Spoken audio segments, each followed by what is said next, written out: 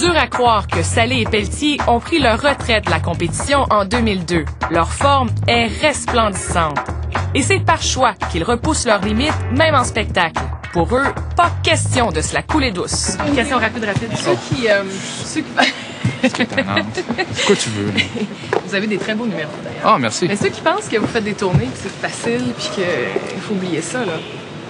Ah, ben, ça, c'est toi qui décides si tu veux. Ça, Non, mais- Tu veux te rendre la vie facile, hein? T'as juste à te rendre ça, la vie facile. euh, de toute manière, euh, tu sais, la différence, c'est dans les compétitions. Hein? Si, si tu performes, t'as ta médaille. Chez les professionnels, euh, tout ce que t'as, c'est ton professionnalisme, finalement. et puis euh, ta fierté en tant qu'athlète.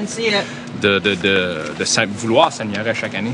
Puis nous, ben, c'est ce qu'on essaie de faire. Puis je pense que on essaie de s'améliorer. On s'est amélioré depuis l'an passé. Puis tant que si on sait qu'on va faire ça, je pense qu'on va continuer. Pas facile, le programme sur Michael Jackson. hein? C'est très facile pour moi. C'est Jamie, c'est parce que dans le milieu du solo, elle devient bien fatiguée. Puis là, si je suis obligé de la traîner, ça fait que moi, je deviens encore plus fatigué. tu comprends?